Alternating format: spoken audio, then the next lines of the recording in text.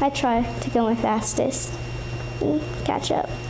11 year old Asha Woodruff may look like any competitive swimmer, She has just like an incredible spirit. Um, she is tough. She is fierce.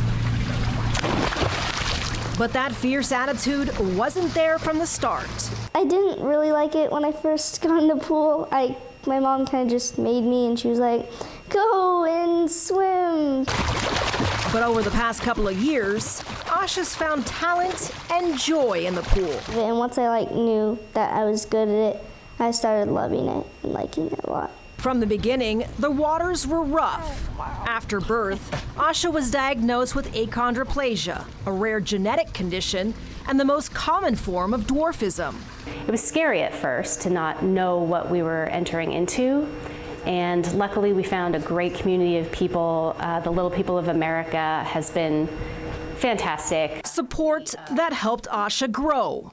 This past week, she swam at the World Dwarf Games in Germany. It feels really nice because I don't always get to see people with dwarfism like me. And so um, it's just really fun. She racked up some heavy hardware this past week, This thing's pretty heavy. Yeah, they are. including taking home the gold in the 25 meter breaststroke. I'm very proud of myself. Um, yeah, I put a lot of work and effort into this um, this year. My heart was just bursting to see her out there competing with um, other little people and getting to see what she can actually do.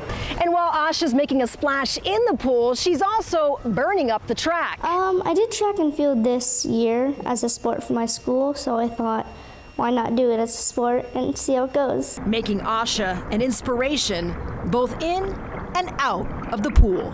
I would like for other people to see how not just me, but other people with dwarfism put a lot of work and effort into this, and um, are really proud of themselves too. Get on that starting block and dive in. In Carmichael, Michelle Dapper, KCRA 3 News.